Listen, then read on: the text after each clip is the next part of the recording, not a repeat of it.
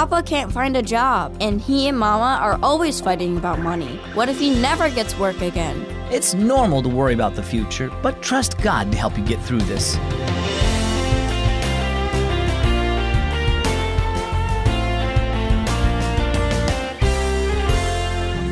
Guess what? You're listening to the one and only Keys for Kids, a great way to grow your faith in God. My name is Zach. Some people think that when you become a Christian, you get special treatment from God, like you're never going to worry again about money or anything else. But it doesn't work like that. Being a Christian is about trusting God no matter what comes your way, including going through tough times. Just remember, no matter what happens, God is never far away. Listen to Psalm 46 1. It says, God is our refuge and strength, a very present help in trouble. Now let's turn to our story. It's entitled One Chapter. Thoughts churned inside Diego as he trudged alongside his grandparents who had prepared a picnic to share on the beach.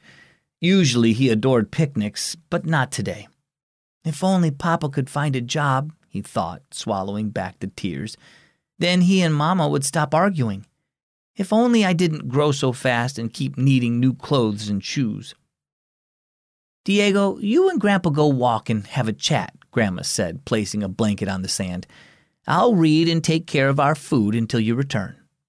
Diego and Grandpa said nothing for a while as the waves lapped in and out. Finally, Grandpa spoke, breaking the silence. You're worried about your parents, aren't you? Diego nodded, wiping away a tear. What if Papa never finds a job? We become homeless. I feel so helpless. I pray, but God feels far away at the moment. Oh, Diego, our loving God is always near, Grandpa said, hugging him. Jesus loves you so much, he died for you, and he promises to always be with you and help you through hard times.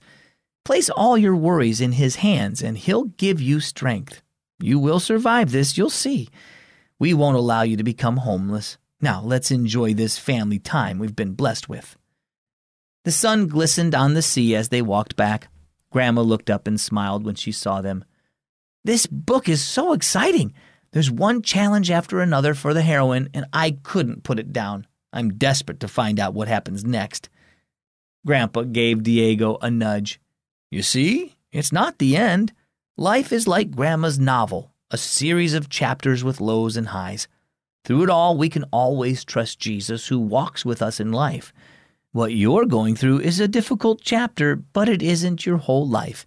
It's a part of it that God will use to help you know Him better, and one day you'll pass through it. Grandpa sat down on the blanket. Come on, let's pray so we can eat.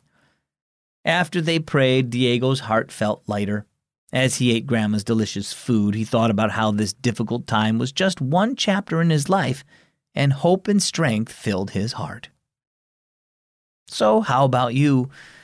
Are you experiencing a tough situation in your life? Perhaps you're worried about a family separation, moving, finances, sickness, or something else. Remember that this is a chapter in your life and that you're not alone. In hard times, Jesus is always with us and gives us his peace and strength. So trust him to help you through this difficult chapter. Our key verse is found in the Psalms, chapter 46, verse 1. God is our refuge and strength, always ready to help in times of trouble. And our key thought for today trust God in hard times. If Keys for Kids is helping you grow closer to God now, what are you going to do as a teenager? Well, you can try reading our Unlocked Teen Devotional. Each day's story will help you understand the Bible and help you become more confident in your faith. Ask your parents to sign up for a free subscription at unlocked.org/subscribe. I'm Zach with Keys for Kids.